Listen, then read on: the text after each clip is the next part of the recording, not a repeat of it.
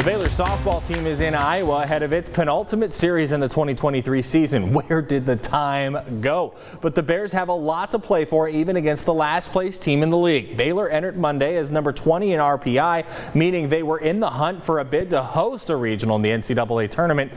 Through Wednesday's games, though, the Bears are now 18th, meaning they're just a couple spots out as regional hosts tend to mirror the top 16 in the RPI, and Baylor is down to just six games left.